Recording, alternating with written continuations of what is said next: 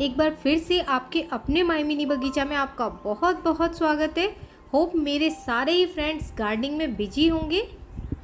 आज मैं फिर से अपने दोस्तों के लिए एक बहुत ही प्यारा सेक्यूलेंट प्लांट लेके आई हूँ, जो कि ये मेरी गार्डन में है और बहुत ही सुंदर लो मेंटेनेंस जिसकी आप कह सकते हैं कि बिल्कुल ना के बराबर आपको इसकी केयर करनी होगी और बहुत ही प्यारा, बहुत ही सुंदर और काफ़ी बड़े साइज़ में ये सेक्यूलेंट प्लांट है और बिल्कुल आपके गार्डन को एकदम बहुत सुंदर लुक देगा। जिस भी आप कॉर्नर में इसको रख देंगे, बहुत ही प्यारा प्लांट है ये। तो मैंने सोचा कि क्यों ना आप लोगों के साथ इसको शेयर करा जाए, क्योंकि कभी कभी ऐसा होता है हम नर्सरी जाते हैं प्लांट को देखते हैं, अगर वो पॉलीथीन में लगा होता है तो हम उसकी वैल्यू नहीं समझ पाते और उसको लेके नहीं आते लेकिन मैं इसको कहाँ से लेके आई हूँ? मैं इसको बिल्कुल भी नर्सरी से नहीं लेके आई हूँ। तो ये मैं जब अपने घर गई थी मीन्स अपने ससुराल गई थी तो वहाँ पे ये ज़मीन पे हो रहा था और उसकी वाकई कोई भी वैल्यू नहीं थी। बस छोटा सा पीस मैं तोड़ के लेके आई इसको और जब मैंने इसको एक गोल वाली बास्केट में लगाया तो ये इतना सुंदर ग्रो होके आया कि बस देखते ही बनता था कि मैंने कभी सोचा नहीं था कि ये एक ज़मीन पे जो उग रहा था प्लांट वो इतना सुंदर बन के आएगा। तो इसको ये बिल्कुल गोल फॉर्म में आता है। अगर आप इसे जैसे राउंड शेप के प्लांटर में लगाएँगे या हैंगिंग प्लांटर में लगाएँगे राउंड शेप के तो ये बहुत ही अच्छी शेप ले लेता है।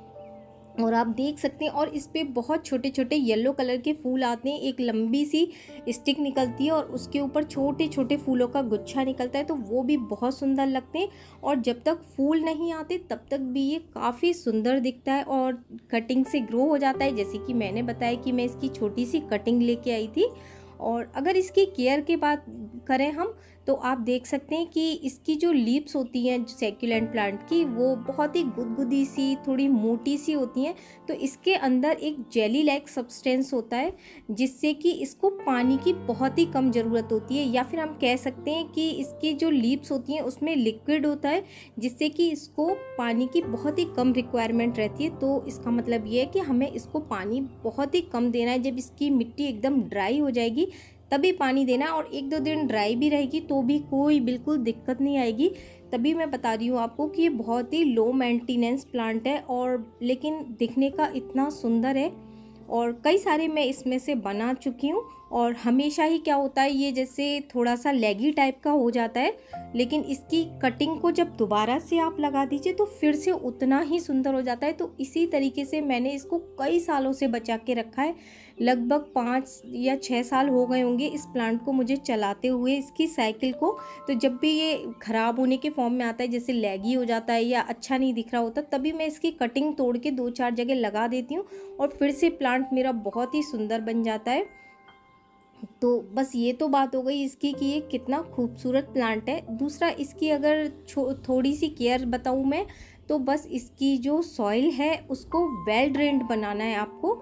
उसमें पानी बिल्कुल भी नहीं रुकना चाहिए। जैसे हम पानी डालें तो वो नीचे से ड्रेन आउट हो जाए पानी, और पानी भी हमें इसे बिल्कुल रोज़ नहीं देना है। जैसे हफ़्ते में एक बार दिया, काफ़ी है। अब आप अपने यहाँ का पहले क्लाइमेट चेक करें कि आपके यहाँ का क्लाइमेट कैसा है।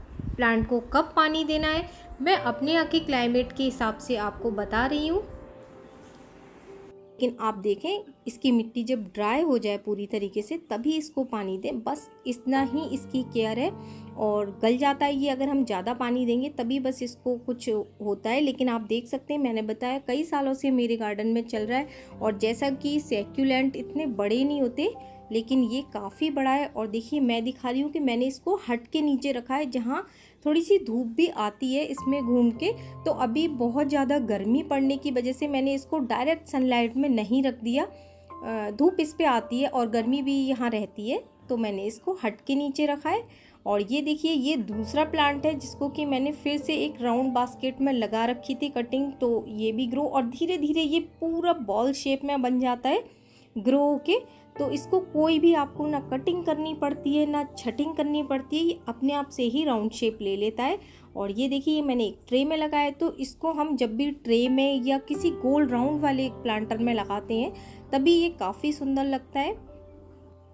तो चलिए फटाफट से इस सेक्यूलेंट प्लांट की कटिंग लगा लेते हैं। तो देखिए, मैं इसमें से ही एक बड़े वाले जो मेरा सेक्यूलेंट प्लांट है, उसी में से ये कटिंग ले रही हूँ। तो बस आप इससे छोटी भी लेंगे तो भी चलेगा। इसकी जो नीचे की डंडी है, इसको बिल्कुल क्लियर कर लेंगे, इसकी लीप्स को निकाल देंगे। और ऊपर में लीप्स निकालने की कोई भी ज़रूरत नहीं है, ये बिल्कुल बहुत अच्छे से चल जाएगा इसी में। और सुंदर भी काफ़ी दिखता है, आपको कोई भी ज़रूरत नहीं पड़ेगी ये इसको छुपा के रखने की कि जब ग्रो हो जाएगा तब निकालेंगे। ये ऐसे ही बहुत सुंदर दिखता है। और जो ये सॉइल है, ये मैंने अपने किसी प्लांटर में से ही लिए बिल्कुल वेल ड्रेन सॉइल है ये। इसमें कंपोस्ट भी है, सैंड भी है तो बस इसको हाथों से अच्छे से प्रेस करेंगे और लीजिए कटिंग हमारी लग के तैयार है, ना कोई हमें इसमें रूटिंग हार्मोन लगाना है। तो बस तैयार है हमारी कटिंग तो चैनल को प्लीज़ सब्सक्राइब कर दीजिए अगर आपको वीडियो पसंद आ रही हो। Thank you so much friends, okay, take care bye bye